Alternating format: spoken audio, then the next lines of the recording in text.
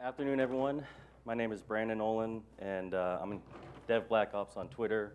Um, and this session is really is about Invoke Chat Ops, uh, level up and change your culture with Chat and PowerShell. Um, first off, does anyone do Chat Ops in their organization right now? Couple. Anyone know what it is but haven't done it yet?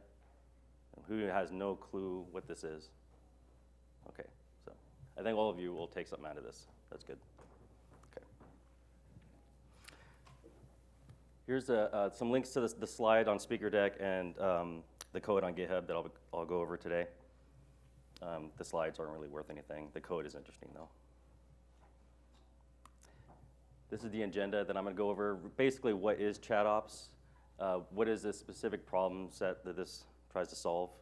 Um, the benefits of, of working in this way, uh, some example frameworks out there, and specifically um, the one that I'm going to be talking about because I wrote it in this PowerShell conference. Um, some examples, uh, commands that you would probably do in a chat ops environment, and really the bulk of this is, is an overview of what Poshbot is and a demo, and hopefully some time for Q&A. But um, I've given this talk before and it, with an hour and a half, and that wasn't even enough time, so I'm going to try to cram through it as much as I can in 45 minutes. All right, so let's get started. What is ChatOps? Um, this is a, a pretty succinct uh, definition from James Fryman, um, formerly of GitHub. I think he's still at Stackstorm. Um, and what this really is, is we're taking the things we're already doing, all the work that everyone in here is doing, solving problems on, on systems, and we're putting that in line with the conversations that we're having, and in this case, inside a chat window. We're putting those concepts together. This is another a little bit um, longer definition from Atlassian, but basically it says the same thing, is you're taking all these tools, and all these conversations and notifications and putting them in a single interface, um, in a single context. And I'll, and I'll kind of go over some of the benefits of doing that. This is an example problem that, you know, the um, typical Brent problem that this chat ChatOps is trying to solve. So imagine a, a fictional user named Bob he has a problem and he calls the help desk or chats with someone on the help desk named Sally and says, something's wrong with this server. I don't know what's wrong. Can you look at it? Sally is a, a help desk person or, or, some type of operations person, and she doesn't know what that system is. Brent, our, our favorite person, Brent, does, and um, maybe he can help with this. Two hours later, magic happens. The server is, is fixed. Um, Bob is happy that his problem was resolved. Sally is, is happy that the problem went away and she can close the ticket.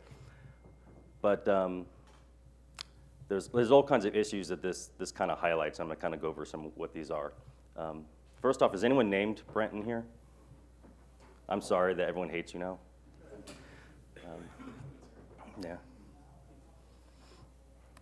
So what are, what are some of the opportunities that this kind of highlights? Um, what ChatOps can help with this is uh, it can improve the context. Um, you notice there was a problem, something happened, they fixed it, no one knows what that is, and then the person got notified that it was resolved. Um, Sally never learned anything about that experience, either did Bob, really. Um, so Sally or Bob didn't gain, gain, any knowledge on how to fix this particular issue. Um, and neither Sally or Bob were empowered to do this themselves, and ideally, Bob should be able to fix this problem himself. Um, this, this, you know, giving either one of these people access to fix this problem themselves can reduce your mean time to resolution, and ultimately, we want fewer Brents in the organization, um, not the actual person. We like Brent. Um, but he is overworked. He's you know critical to the team. If he gets hit by a bus, the world crashes. Um, but we want to we want to reduce um, the the human bottleneck that Brent represents in all of our organizations, and we're all or we all are or we are all have been Brent in our, in our careers. Here's some of the other benefits that ChatOps can, can bring. Um, like I said, knowledge sharing, empowering the team to fix their own problems, and that's both IT people and business people. It's really anyone in the organization. Situational awareness is everyone knows what's going on, everyone knows the problem that's happening. It's all in one view. You can enable faster onboarding as people get into the organization. They have a good sense of how that organization works just by looking at the chat history of that group. Um, retrospectives or, or, you know, blameless postmortems, you can, um, by having all this stuff logged in history, in a permanent history, you have a, basically a flight recorder of, of an incident that you can go back to and, and look at what you did right or what you did wrong in that case. Technical benefits, obviously, this is all driven by automation. Um, like I said, reducing the uh, time to resolution. You have history and logging of everything you're doing here, and ultimately you can improve safety and in- increase security as well. Here are some example frameworks out there. Uh, probably the grandfather of, of, most of them is Hubot. Um, and these are all based on di different languages. Hubot is, is written in JavaScript and, and CoffeeScript, Errbot, Python, Cog, Elixir, Ru Ruby, bot framework. Um, there wasn't one for PowerShell, so I created one called PoshBot, and that's what I'm going to go over today. Um, but really, any of these will work for ChatOps, and all, all of them work really well for what they're designed to do. Um, but ultimately, if you want to if you want to implement this in your organization, pick something that you're familiar with, that's native to how you work, because um, there's there's really a bot probably in any language out there. Here's some example commands that you can probably you can probably think of a whole lot more that you probably write in a in a in a chatbot. You can restart services. You can get and resolve tickets, query some APIs, modify AD or get AD information um, create VMs or change infrastructure in some way. Check processes, get some graphs or performance metrics to help you in troubleshooting. Um, query systems, even to deploy code and kick off pipelines. Um, slap people with trout if you are old enough to get that reference. Um, really, anything that you can do PowerShell, you can, you can, you can do in a bot. And that's really the, the point of this. So what I'm going to go over today is uh, a, a, bot frame I created called PoshBot. It's nearly 100% class-based, PowerShell class-based. And if you saw my session on, on Tuesday, I kind of went over some of the gotchas with classes that I learned by writing this bot.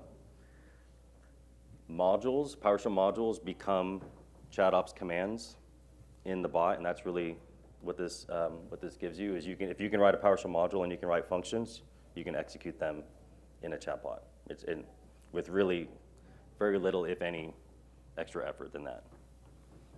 It has a notion of uh, role-based access control. You obviously want to secure some of these commands from people. Not everyone should be able to execute everything. Um, I'll go over some triggers and scheduled commands and some of the other functionality that the bot will give you that you may, you may find interesting to enable certain scenarios, um, such as you know, parameter injection, stateful data, blacklist and whitelist for commands and channels, there's an asterisk under multiple chat networks, and I know someone will ask me about Teams, and I'll, I'll give you the answer about why there's an asterisk there. But really, this is written, since it's written in classes, you can extend classes and implement um, this framework on multiple chat backends. But primarily, I use Slack, and this is written and tested on Slack the most. So that's it really for the, for the slides. Let's get into a demo. Does anyone have any questions just out the bat? No? Okay.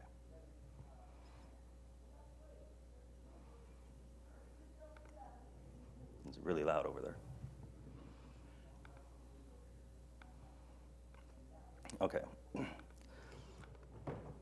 So let's go off and, and start the bot. This is a, a simple script I have here to, to, start, to start the bot. We're going to import the module we're going to import a configuration file, which is really just an, a PowerShell object that has a lot of um, uh, configuration lines on how the bot is going to behave. We're going to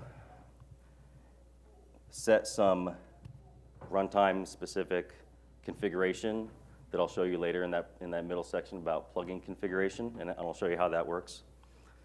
We're going to create an instance of a chat backend that the, the bot is going to reference. In this case, I'm going to give it a, a Slack API token. That, uh, that's how it's going to authenticate to Slack and, and make a connection. And then I'll create the bot and start it. And later on, I'll also show you how you can write a very simple script to, to run this as a service. You can also run this in a container as well. I've tested that. So let's go ahead and start this.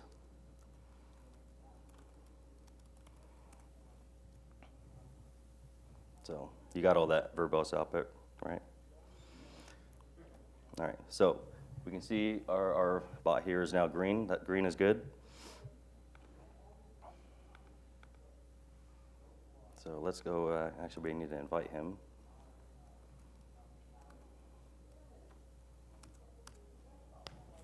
So now that bot will be listening on this channel and, and receiving commands. All right, so let's, let's run a command here. Let's see if it's up. Okay, good. We have status. We can see our bot returned uh, some output.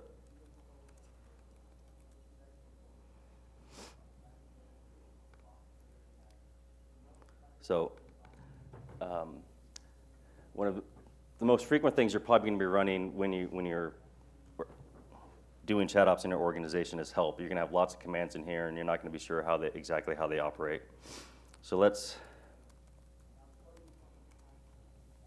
let's run a, a help command for get plugin. There's a lot of um, built-in commands to Poshbot, and they mostly have to deal with importing and managing um, modules, or in this case, I call them plugins, and also some user management. Um, not a whole lot of you know chat ops goodness other than just getting the bot functional.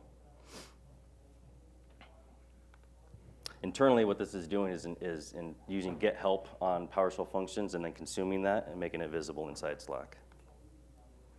So let's actually look at the help for help. You can see you can get uh, detailed or examples, and that's really just a normal get help syntax.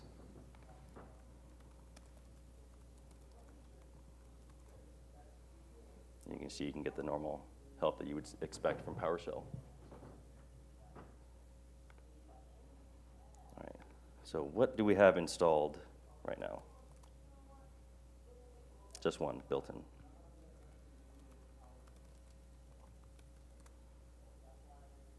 You can see there's a whole bunch of commands here. Like I said, mostly just to deal with plugin management and user management. Let's go ahead and install a plugin. And when I say plugin, this is just a PowerShell module. I, I called them plugins because you can add some extra metadata to them to make them operate differently inside the bot. But these, these modules, are, they're just modules. You can execute them from the command, like, command line like any other module. Let's go and install one. Oh, I'm sorry, find plugin. What this is going to do is actually search the PowerShell gallery for modules that have Poshbot in the name or have a Poshbot tag. So any of these you can just import right away. Um, most of these I created, like Dilbert and Giphy and Tic-Tac-Toe and, and things, Wolfram. Just fun stuff, just demo stuff really to get, to get going. I was happy to see that someone created a VMware module out there. Um, that really just, you know, that showcases the real benefit of using this is actually getting real work done. That, that plugin will snapshot and remove snapshot, snapshots from VMs right from Slack. Let's go ahead and install some of these.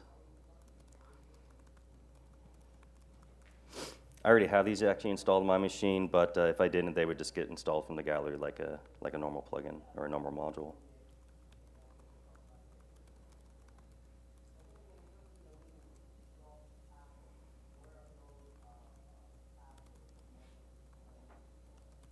Anyone know what NameIt is? That you do? Do you use it? Yeah, I do. Yeah, I, I like it. It's um, what NameIt is is it's a it's a simple um, module out there that just generates random text for test data. So if you want to generate a whole bunch of addresses or people, you can use NameIt to generate stuff like that. I like to highlight it because it has nothing to do with Poshbot whatsoever. It just generates random strings, but you can import it into Poshbot and, and execute this stuff right from Slack. So let's, let's try. So it has a person command or a function. You can go and run that. And you can see it ex executed the command and gave us the results. Internally, what Poshbot is doing is executing these commands in a job, sucking out the, the various verbose and output and error streams, output streams, and, and giving you the results back in Slack. It'll also know if that command had failures, and it'll mark it as such. You can see this one had no, nothing in the output, the error stream, so it assumes that that command uh, was successful. If anyone has any questions, you can speak up, you know, as well. Yeah.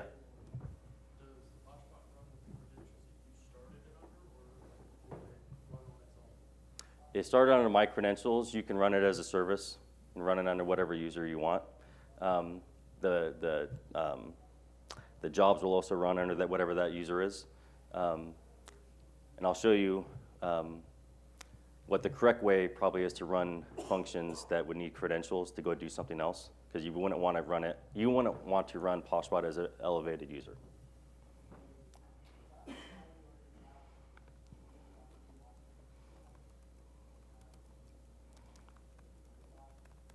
So I created a, whoops, that's wrong. Give me back an error. Hi, Don. PS submit.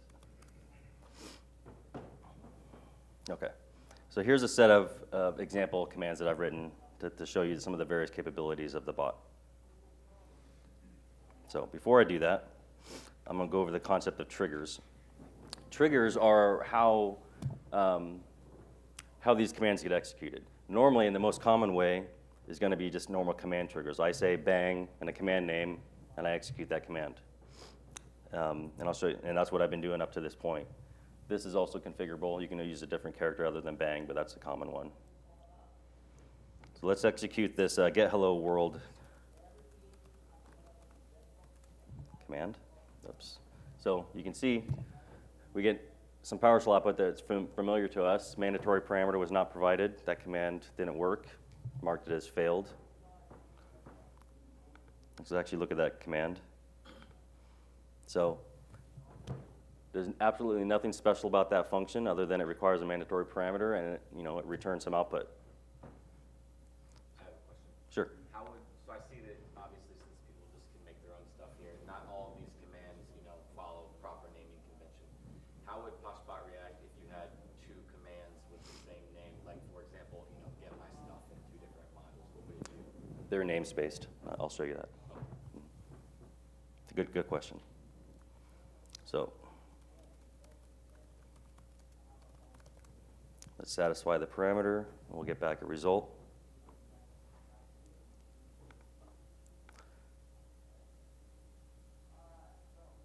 So that's the example of just a normal command trigger, and that's the most common.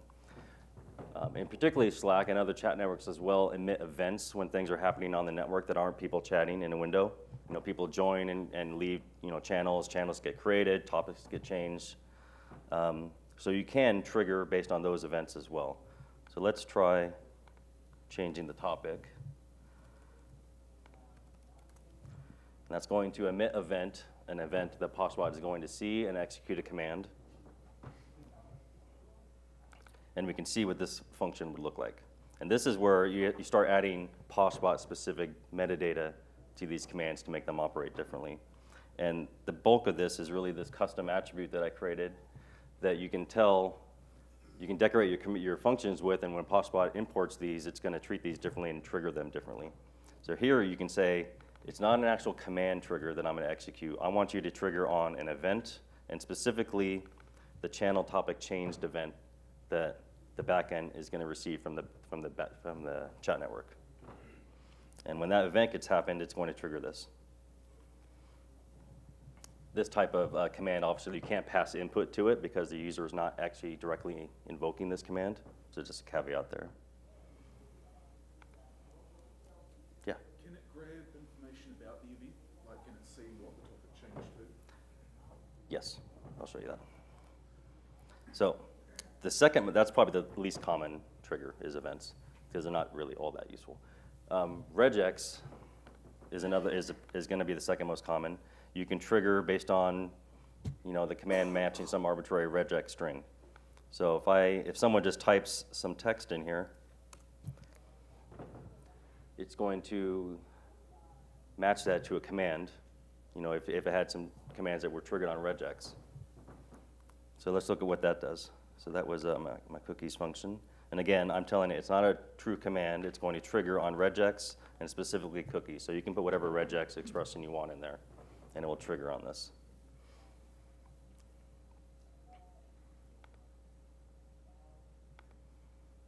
I don't know why this keeps scrolling to the top.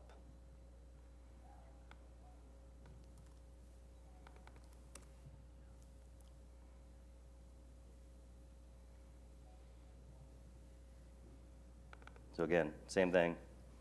I'm going to trigger on ship it anytime I see ship it in the string, and I'm going to pick a random squirrel and give them, give him a squirrel. So, and all I'm doing is doing a write output. Slack will see that as just a URL that it got responded to, and it'll automatically unfurl it.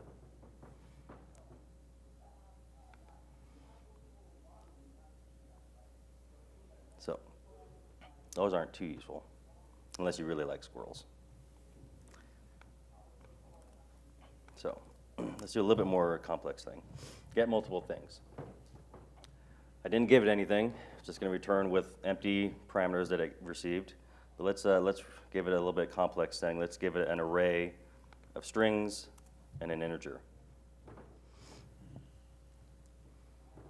So you can see that the parameter thing1 received three things. It automatically parsed that and recognized it was an array, and thing2 was, was an integer. So let's look at that function and see how that operates. There's, there's nothing PoshBot specific in there. All I'm doing is accepting two parameters two, with, uh, collections and then returning their output. But PoshBot will parse that string that, and similar to basically the AST. So anything you type at the command line, or, or I say command line in Slack, it's basically what it is. Um, it's going to be it's going to get parsed similar to just PowerShell on the command line because internally it's using the AST to tokenize these things and break them up.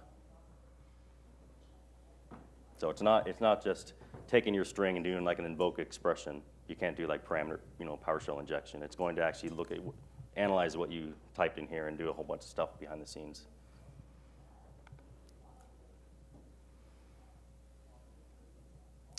So we all write perfect PowerShell every time. We can also, PoshBot will recognize errors or, or exceptions that the command emits and mark that command as failed and also return those back and mark them that, hey, this command had a failure because it's reading the error stream of, of, the, of the job that it's executing these under. And again, there's nothing specific in here. I'm just saying write error.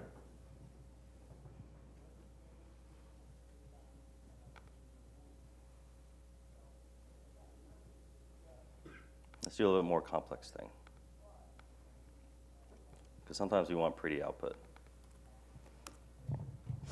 Let's create a VM. Give it some parameters. So, oh, we didn't pass our parameter validation for CPU. We gave it too much. Let's make that happy. So I created a fic fictional server right there. I wish they were that quick. Um, and you can see that function. I said create VM to create it, but you can see that the command, the actual PowerShell function had create dash VM. Now, if I try to run that,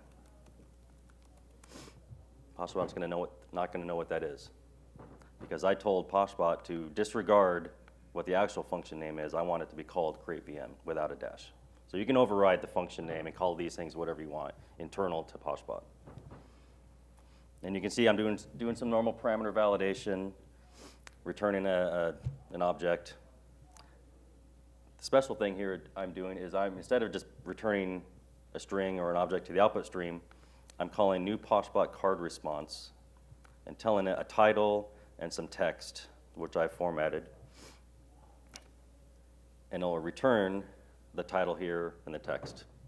So you can tell within your command how to, to you know, do some more custom formatting for the responses of your commands. You can just return arbitrary text, but if you want it to look pretty, sometimes uh, a Slack card is useful.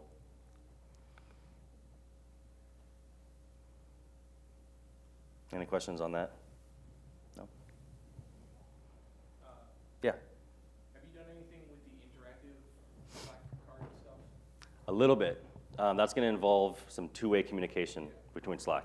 Um, I haven't done any coding on it yet, but I've thought about how to, to, work on that. That involves exposing PoshBot to the internet so Slack can communicate directly to it. Yeah, I've played with that. Mhm. Let's do another command here. Get random number. We'll get a random number. Now we can also say R&D or rand. and also execute that same command. So we have the notion of aliases as well. And you can do that in PoshBot by just specifying an alias property on the, the attribute that, that say this command is also known by these arbitrary other things.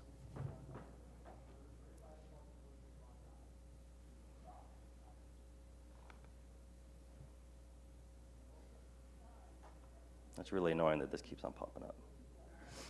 All right, so here's a little bit more complex example is permissions. Um, it would be great if everything could be executed by everyone. Obviously, that can't happen.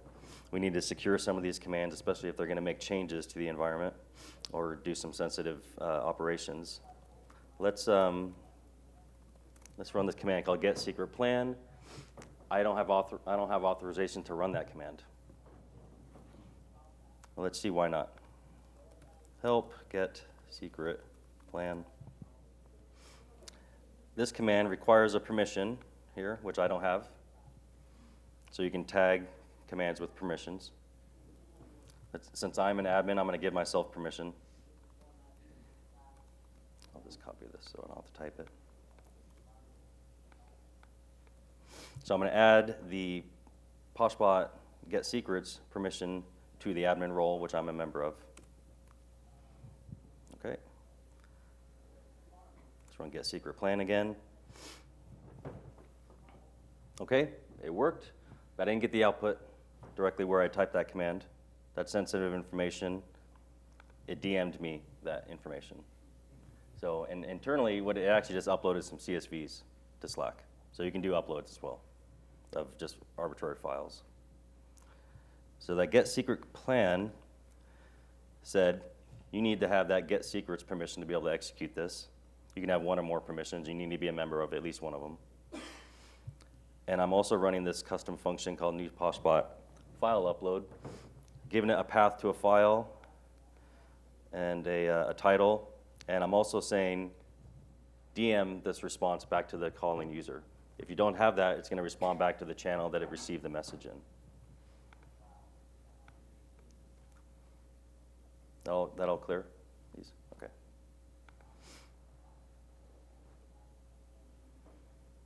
So we can also give that to another user. Let's let's say let's call a henchman role.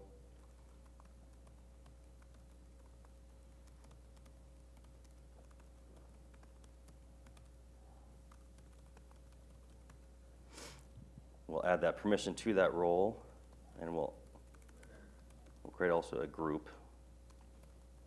People get added to groups.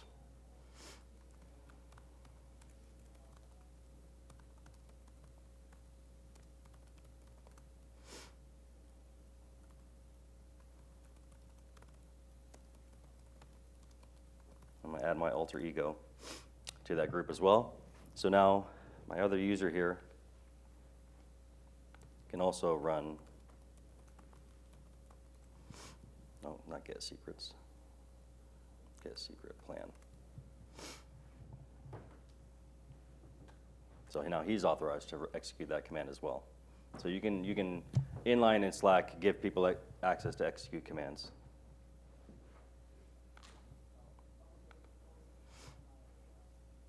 Can also mimic, um, sometimes you want to give that little extra confirmation before you execute a command. So if I want to remove something, called foo. It's going to say, are you sure you want to do that? And I say, yes, I'm sure. So let's use the force switch because we always love that. And you can see it's going to execute, and it recognized that that was three items that I passed in. It's going to operate on each one of them. And that is, um, something.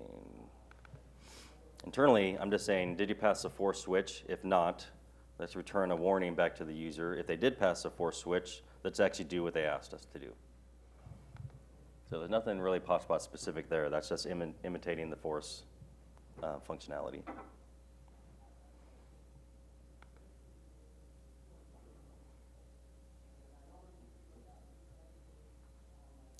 So everything I've been doing so far has been one at a time, command one at a time. But if this is a busy channel, you got lots of people loving the chat ops and executing stuff, you want things to run in parallel. let's run a long command that's gonna go off and do something. And we can also run other commands as well, while that long-running command has got off and doing its thing. These are all executed as jobs, so they're all sep- completely separate from each other. And eventually, that long-running command is going to complete in three, two, one, zero. Okay, there it is. So I I mentioned scheduled commands at the beginning a little bit. Um, you can do some basic scheduling with Poshbot. If you want to do really advanced things like run this thing on the third Friday on you know on the full moon, that's not what this is for. This is basic. This is basic intervals to do execute commands. You want to execute this thing once a day at 7 a.m. to give you some type of status or something like that, and have it available when you get in the get in the office. Let's see. We don't have any scheduled commands right now man, get help. These are all aliases for the same command. Let's see what, what commands match schedule. And you can see some right here. These are all the commands that deal with setting and, and removing scheduled commands.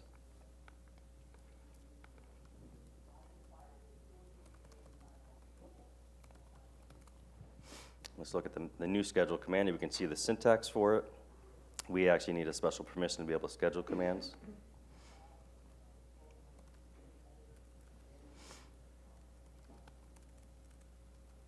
I'll just copy this. I'm going to create a new schedule to run the status command every 10 seconds. You can run things on hours, seconds, minutes, days. So now we have one. We can see it listed there. And there's the output of the status command.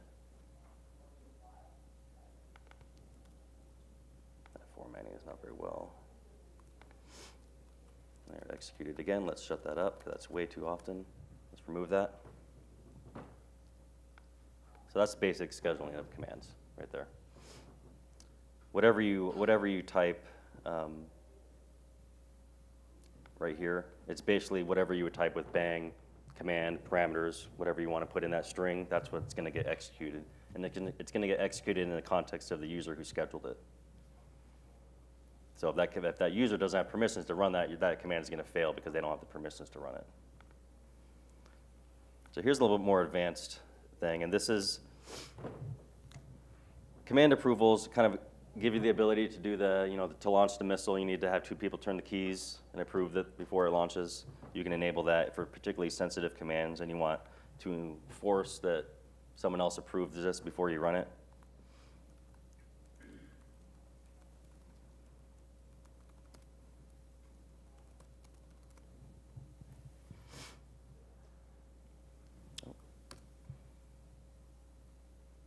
You listening?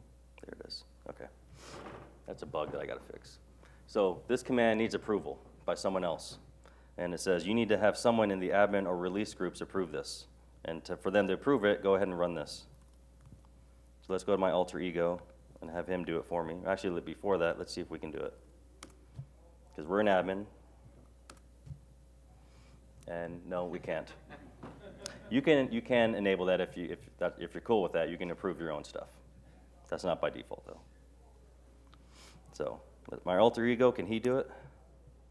No, because he's not in the admin or the release groups. So let's go, let's go be nice to him and let's, let's go create a release group. And we'll add, we'll add him to it. Thank you. All right. Did it notify approvers? Um, not out of the box, yeah. But th- that would be a good, that would be a good use case to do that. So, we can also see the, uh, anything that's pending. And these will eventually time out, that's configurable by default, it's gonna be thirty minutes for that person to approve it, otherwise that command's gonna go away. So let's go ahead and approve it.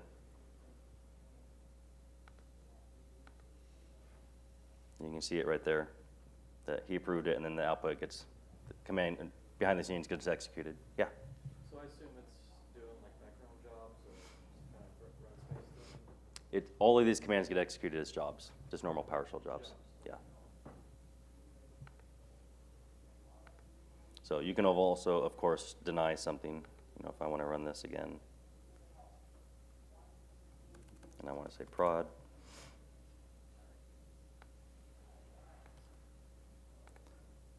Have this, have my boss say, nope, not going to do that. Channel rules. You can also control what commands get executed in what channels. Even Poshbot will have to be listening on that channel, but maybe you don't want to allow Giphy in the management, you know, channel. So let's go back to the general.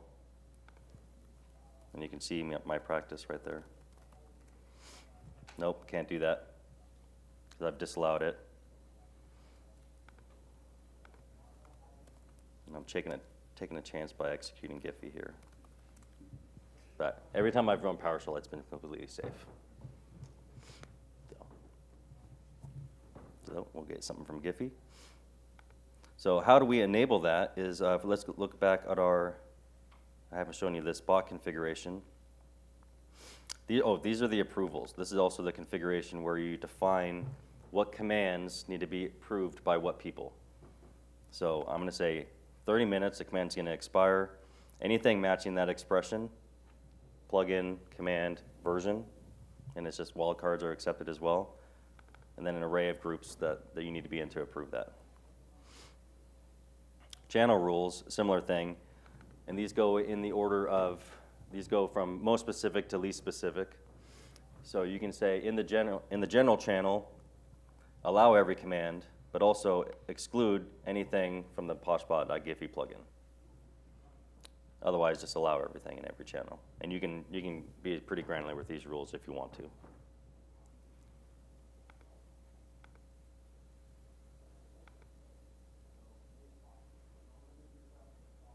So that's channel rules. So everything I've been executing up to this point has been logged.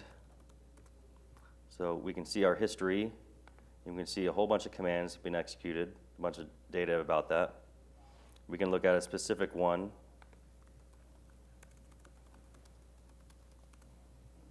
Get a little bit, little bit more information about it, what com- ex- explicit command they ran, who did it, optionally, if that was a command that required approval, who approved it. And also, all of that is also written to a log here that you can configure your retention with. I gotta refresh that.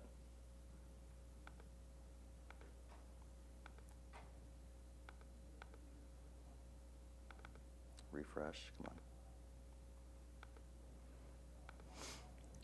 So in a JSON file, you have a whole bunch of information about what message was received from Slack, um, what the command was, what the output of the command is, who approved it, you know, all kinds of information here, and you can ship this off to some type of log aggregator if you want to analyze it. There's also a detailed log of what the bot is doing internally as well.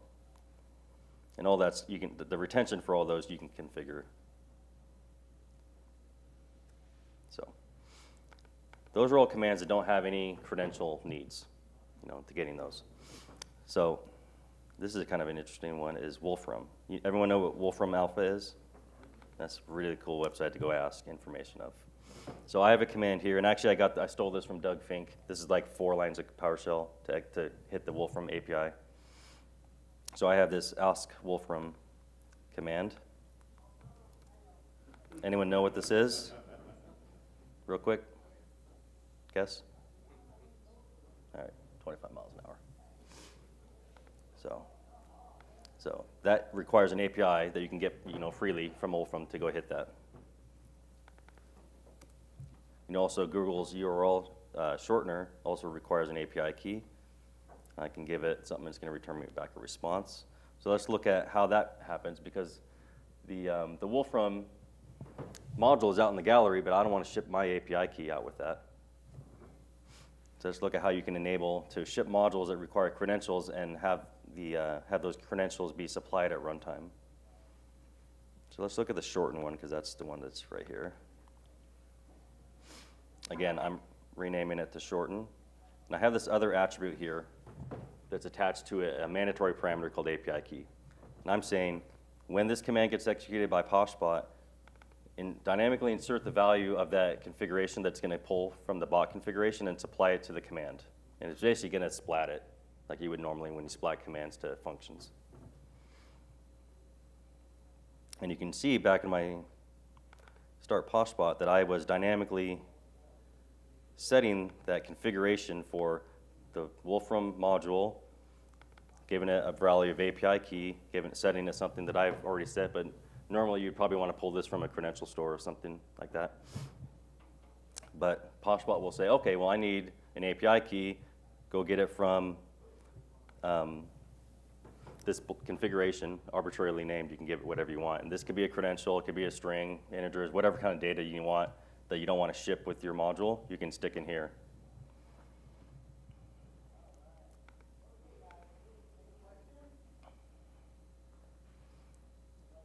So that's uh, parameter injection, and that's really useful to make, like VMware plugin, obviously you're not going to ship credentials with that. That's going to be specific to every environment. Also the URL for vCenter, things like that.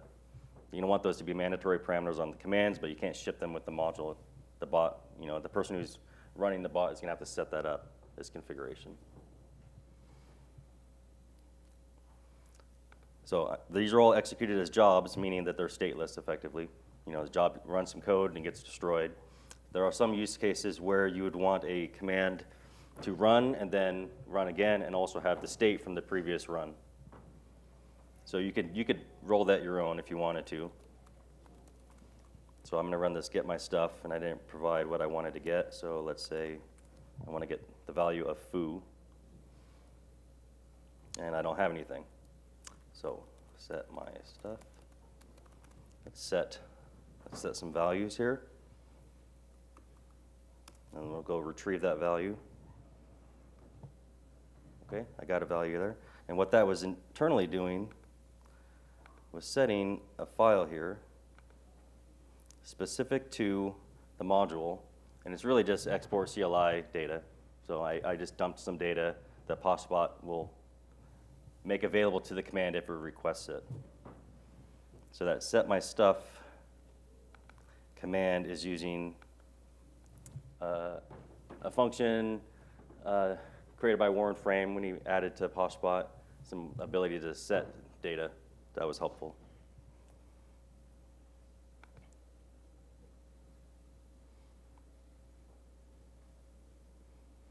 Okay, so your question about, um, like, I think it was about who was executing the command, or a little bit of extra context to the function about who was running these commands. I got a little bit of, a few minutes here, so let's, uh, let's show you what that looks like. This is all the data that you have available to you when you execute a command. This is a global object that I insert in the job that shows you, you know, who executed the command, what was the message that it received from the network, and you can do what you want with this data. So if you want to do extra validation about um, the actual specific user that executed that, what channel it was in, you know, things like that, you can, you can do with that what you want. And the stateful data, uh, let's see. There's also another thing you can do with this. So let's, let's actually play a game with it. Games have state. And I don't have any active games, but I, let's create a new one.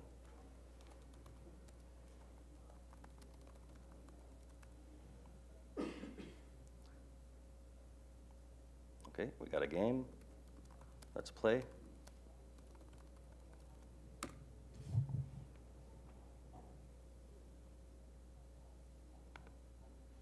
And then he'll join.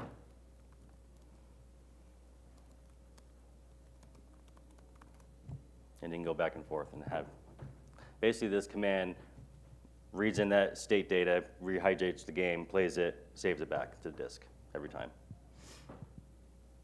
you could probably come up with something more useful than tic-tac-toe, but that was something fun to play with. So, namespace, you mentioned um, multiple commands that have the same name. internally, PoshBot has namespaces. So the actual command that gets executed is the plugin colon name colon version. So you can be specific and, and actually import multiple versions of modules and execute different versions of that command. Um, I don't have really enough time to show you that, but you can, this is how you do it. You would just do a fully qualified name here. Same with disabling and, okay, so I got to run out of time here. So you can also run it as a service. Here's a little document on how to do that. This is on the doc, the Poshbot, the docs.poshbot.io site. This is all the documentation I have. It's pretty complete. Um, okay, so that's it with the demo.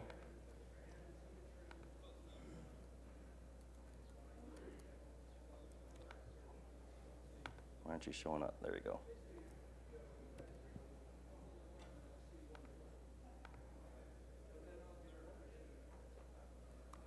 Okay, so how you can get kind of started with chat ops is starting small, read-only information.